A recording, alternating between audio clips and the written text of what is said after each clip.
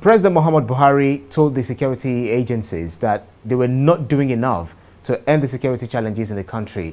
So despite enormous logistics provided by this administration, is this an indictment on the service chiefs? Yes, not just uh, the service chiefs, but on uh, everyone who duty it is to protect us as a people the service chiefs, the other subheads of uh, our national security, they are all to blame for the mess that we have found ourselves in. In the past, the president could simply gloss over these things and even heap praises on the service chiefs, on the inspector general of police, but I think even the president is tired of um, coming out to defend or appear to defend his appointees. His appointees have failed spectacularly uh, to provide security for our people. And if the president is saying this to them, then uh, it shows that in his heart of hearts, he knows that not only have the people who head security in our country failed, his own government has failed in the area of providing security for our people. It can no longer be denied. People can be called names because they chose to speak the truth. They chose to highlight the problems facing our nation. But simply abusing people or pretending that problems are not there will not solve the problem what will solve the problem is the approach to defeating it.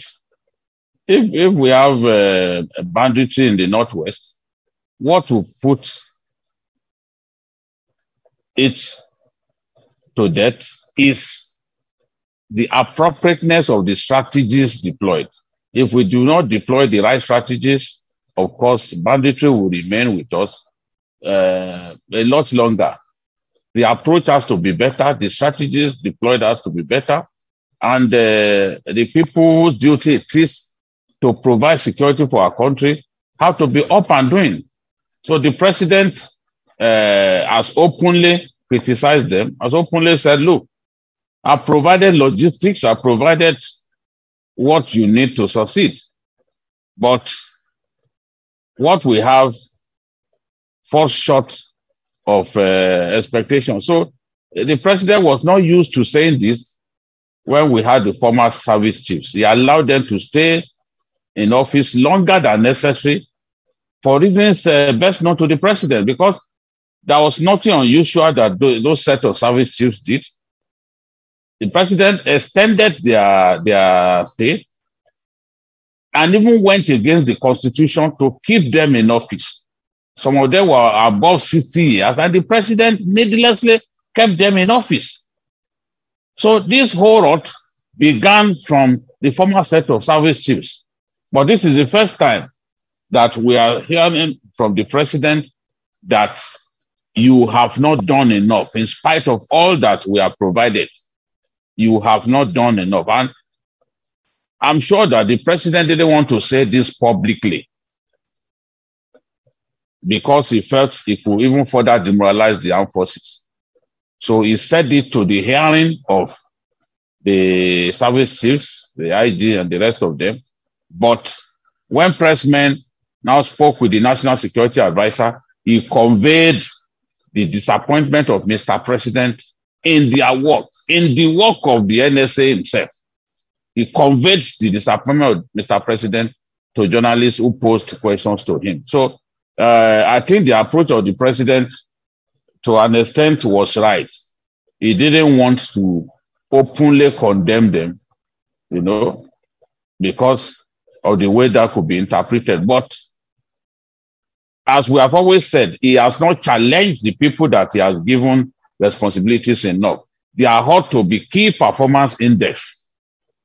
If Nigeria was a business enterprise, of course, it will be run better than this.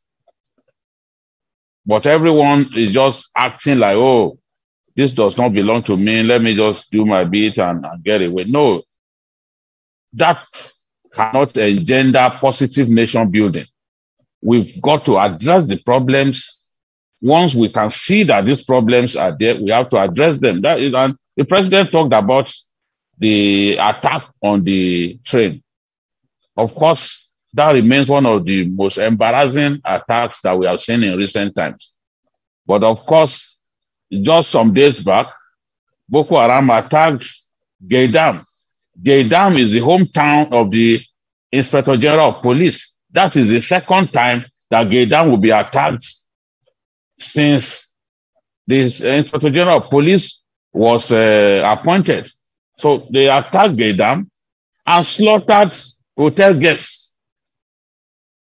So that is a Boko Haram that we continue to tell people has been uh, degraded, has been rendered uh, almost powerless. Uh, uh their members are surrendering droves, but is still capable of attacking a big town and slaughtering people like rams, slaughtering hotel guests like rams, and even going to the point of burning down a government building. So we still have a lot to do in the area of security. We've got to tell ourselves the truth. And the president shouldn't just stop at criticizing these people. He has to give them matching orders. And once he gives them matching orders and he sets targets, realizable targets for them, if they cannot meet his target, then he should, he should let them go. Mr. President is the person who appoint people to positions and even when they fall short of expectations, he keeps them there. That has to change. Because as I've said to this president repeatedly, his administration will be signposted, his administration will be re uh, remembered largely for the insecurity that pervades our land. He can build trains in the sky. He can, he can provide infrastructure three times better than previous leaders before him. I'm not suggesting that uh, right. uh, that's what is done. Yeah. It, but I'm saying that he can provide infrastructure even three times better than the president before him. If he does not defeat the insecurity that is ravaging our land, that is taking the lives of our people, that is yeah. getting our, our, our, children to not uh, feel comfortable to go to school, that it is that it is by that insecurity that his administration will be remembered. That there's just mm. no two ways about that. I'm a historian. I, I know yeah. that we've had leaders who did well for their people, not just in Nigeria, but certain little things for certain little indiscretions. Mm. All right. Those leaders have been pushed into the dustbin of history. Yeah, you're, you're correct.